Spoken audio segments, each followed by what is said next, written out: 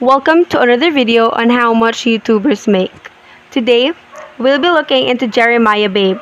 To understand his statistics, I'll be going over his channel through Social Blade.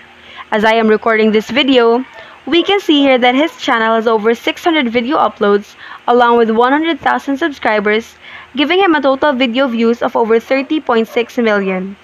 Going down with this daily YouTube analytics summary of his activities for the past month, his daily average views would amount up to 38.2 thousand views. He also has a total of over 267.5 thousand views weekly and an accumulated video views of over 1.1 million for the past month. Now, with his daily average views data on hand, we'll go ahead and input this amount to Social Blade's money calculator along with YouTube's usual CPM. CPM meaning cost per thousand views, which usually ranges from less than a dollar up to $10.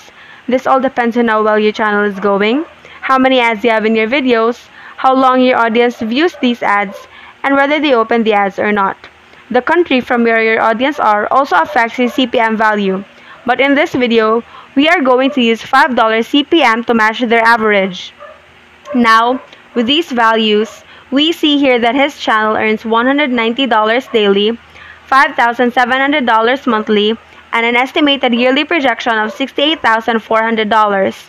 However, with all these earnings, YouTube takes about 45% of the YouTuber's total income.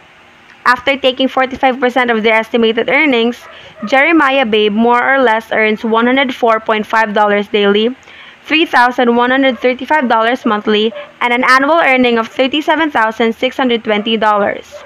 With all these data that I have gathered, I sincerely hope for Jeremiah Babe to foster as a YouTube content creator, and I'm genuinely praying for his continued success. Do check out his channel and subscribe if you're into his content, and don't forget to like our video as well if you loved it, and subscribe to see more videos like this. Thank you and see you on the next video.